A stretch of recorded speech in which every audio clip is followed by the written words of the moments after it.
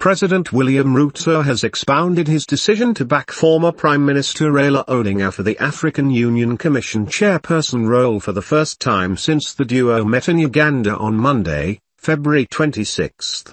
Speaking during the investment conference in Homa Bay County on Tuesday, February 27, Ruto reminded the residents that he had always drafted a plan to unite the nation after the controversial 2027 presidential election. He asserted that no Kenyan ought to be excluded from government despite the outcome of the polls.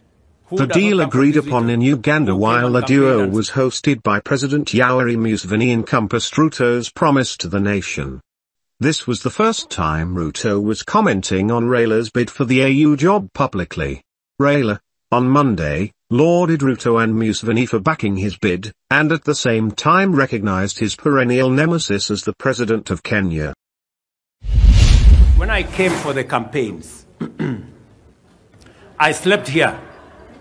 I am, I am probably the only uh, presidential candidate in independent Kenya who does not come from this region, who came and campaigned and slept in Homa.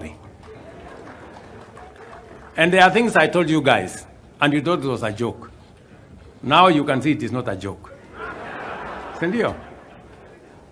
Niliwaambia tutapanga maneno kabisa na hakuna mtu atakuwa loser kwa hii kitu. Tutapanga ndio kila mtu apate kasehemu kidogo ndio tuende mbele. Si ndio?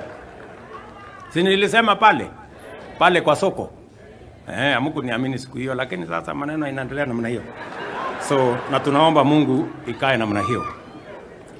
Because I remember very well I told you that time that uh, we, we want to unify the country. We want to work together towards the unity of Kenya. And that is important to all of us, you know, and, and there is space for all of us in Kenya. You do not win by making others lose. We want a win-win outcome for all of us. We all want to be winners because those in the opposition must mean well for Kenya. Those in government must mean well for Kenya.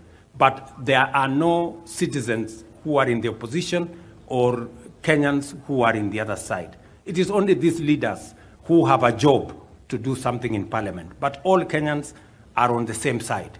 We belong to one nation and we have one goal to make Kenya a great country that we can bequeath to our children who will come after us.